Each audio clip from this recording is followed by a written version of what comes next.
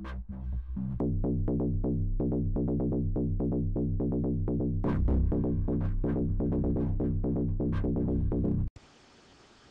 this tutorial we're going to look at a few more tools in Photoshop. Before we can do that I've opened up this picture that we're going to manipulate for the tutorial and it opened it up as a background. You'll notice beside that it's got a little lock. That means that this is locked and we can't do anything with it. In order to undo that we're going to take this lock and drag it down to our recycle so notice that goes away and it renames it layer 0. And that's fine for this particular exercise. The first tool we're going to look at is the marquee tool, which is basically just a selection tool. If you'll click on this and hold your mouse key down, you'll notice that you can do either a rectangle, an ellipse, or a circle, or single row, which is one pixel across. We're going to select the rectangle, and we're going to take out this side of the computer and we're just going to keep this side. So in order to do that, we're just going to select what we want to keep, go to Image and Crop, and that took out everything else. In order to get rid of our marquee tool selection, you can click anywhere else over here, it'll go away. Just underneath that, you'll see that normally the lasso tool will be showing up. And the lasso tool is just a freehand marquee tool. So basically I can draw a shape around something. And when I let go and come back to the beginning, there's the selection. And I can move that or do whatever I need to do with that. If I ever want to go backwards, I can go edit step backwards and that's going to take you back 20 steps uh, one at a time. So there's one step backwards. And if I keep clicking, it'll go back 20 different steps. The um, next tool that we're going to look at, if you hold the lasso tool down and click on the magnetic lasso tool, what the magnetic lasso tool does is it tries to tell the difference between colors. So in other words, there's a dark color here on the edge of this monitor and a light color behind the wall, or on the wall here.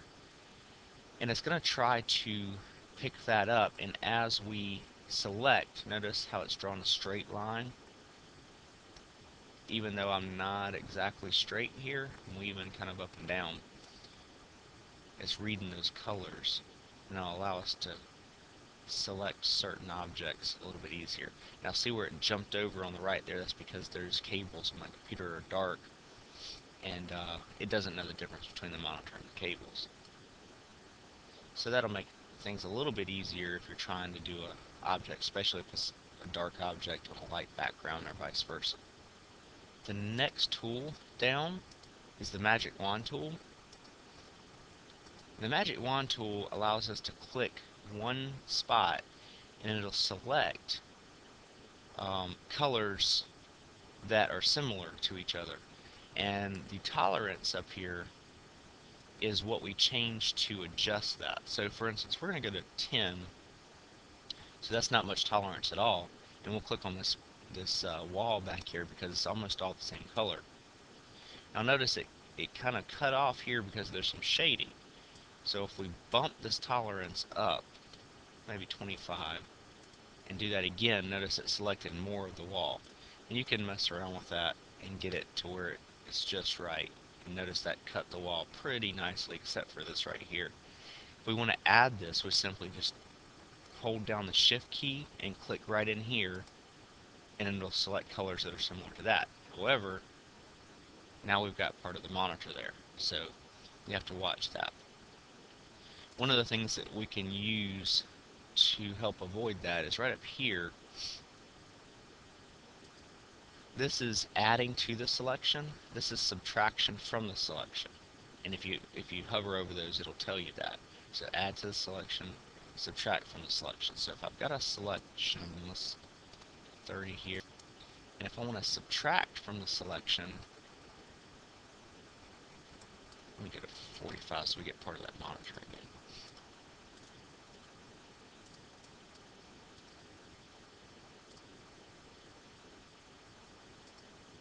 There we go. Now, if I want to subtract from the selection, I can bump my tolerance down, and now I can click into the monitor, and notice how it takes it out of that selection. And I'm not holding shift key down while I'm doing this. And I can cut that out if I'd like. All I have to do is hit the delete key, and my wall's gone. And one of the things that we can do with this, we could actually put another picture back there. So I'm going to gra go grab a picture and I'll be right back. Alright, I've got a picture now, and what I'm going to do, I opened the picture up, just went File, Open, and, and found the picture, and opened it up, and notice that up here in the tabs, it's open under a different tab. We want it to show up in this picture here, so I'll simply come over here, right click on my layer, click on duplicate layer, and here where it says destination, instead of Jeep, which is what I'm working on here, I want it to open up under this one. So I'll select that one, click OK. When I go back here, there's my picture. Now, it's significantly smaller than the picture I have open here. We can adjust that by going to File, excuse me, Edit, Free Transform, grab the corner holding Shift so it keeps the proportion here. Pull it out. Now notice it pixelated, that's because my picture's so small. That's okay. And when I click off of that, it's going to ask me to apply it. I have to apply it or go back to where it was before. Now we'll do something with this picture later, so I don't want to look at this right now. I want to hide it, but I don't want to delete it, so I'm going to click on my little eyeball and make it go away. And we're going to come down here and we're going to use the next tool down. And what this tool is, is it's going to allow us to crop the monitor, but crop it so that it's flat. Right now it's at an angle, and this angle is because the picture was taken not looking straight at the monitor. So we want to make it look like we're looking straight at this monitor.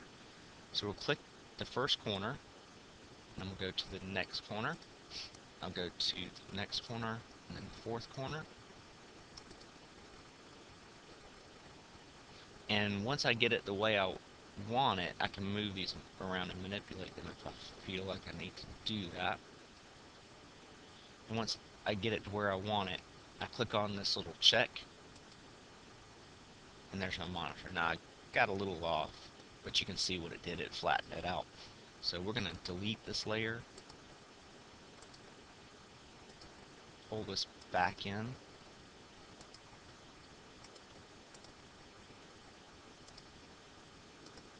Alright. I'll move it to the upper left hand corner. I'll go to Edit, Free Transform hold my shift key down so that I don't get it out of... If I don't hold my shift key down, what happens is it'll allow me to stretch the image. And it'll make the image look bad. So in order to go back and don't apply that, go back to edit, retransform, shift key, pull it out,